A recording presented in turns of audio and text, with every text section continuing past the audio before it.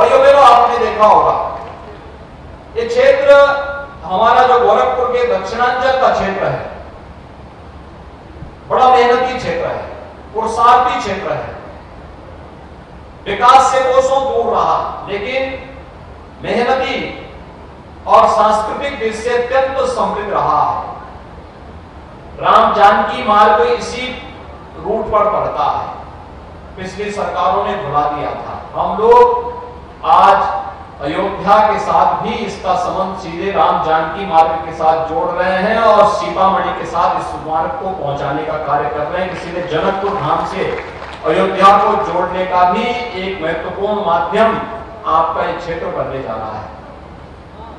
गोरखपुर का पहला बायोफ्यूल का प्लांट ये जो पराली खेतों में होती है, जिसको हमारा अन्नदाता किसान कभी जला देता था आने वाले समय में इसको जलाने की आवश्यकता नहीं पड़ेगी। यानी आम के आम और गुठली के भी दाम मिलने वाले हैं आपको।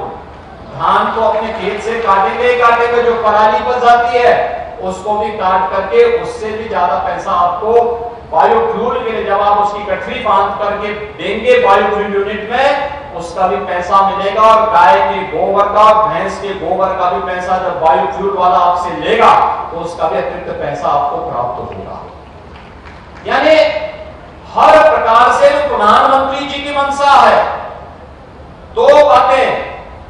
अगर हमें आत्मनिर्भरता के लक्ष्य को प्राप्त करना है, एक, हमें परंपरागत खेती की तरफ़ जाना पड़ेगा, प्राकृतिक खेती की तरफ़, क्योंकि लागत को कम करना, उत्पादन को बढ़ाना। मेरा मानना है कि हमारे खेतों में आज भी जितना हम अन्न उत्पादन करते हैं, इससे चार अन्न उत्पादन करने की क्षमता हमारे खेतों में है। हमने उसको विधिवत उसका बेहतर उपयोग नहीं किया है, तकनीक को नहीं अपनाया है और हमने उसके रूप तैयारी नहीं की है।